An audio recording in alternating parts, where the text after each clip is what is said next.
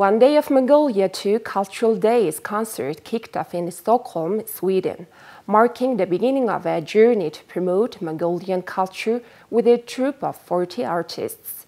This concert aims to share and celebrate Mongolia's rich heritage and traditions, especially reaching out to Mongolians residing abroad, including children and young adults, thereby fostering an appreciation for traditional art and customs.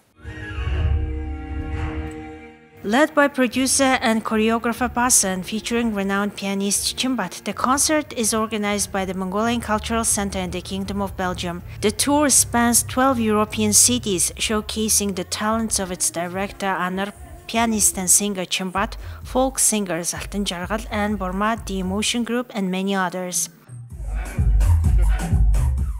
The One Day of Mongolia Cultural Days concert in Europe was initiated two years ago, and it was organized with the support of the Mongolian Cultural Center in the Kingdom of Belgium. In 2017, the Mongolian Cultural Center in America also helped us organize a similar event in the USA. This year's concert is unique in its innovative staging and production.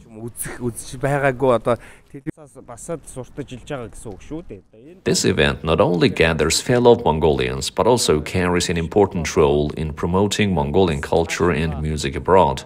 So we would like to extend our gratitude to the organizers.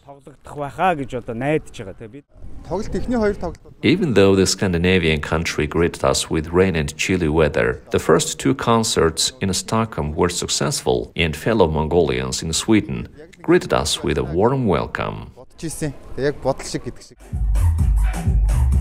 The warmth of the reception in Sweden set the tone for the upcoming performances. The event began with various activities, including the sale and presentation of Mongolian national brand products, a delightful dairy tasting session, a chance for free interactions and interviews, and memorable photo session.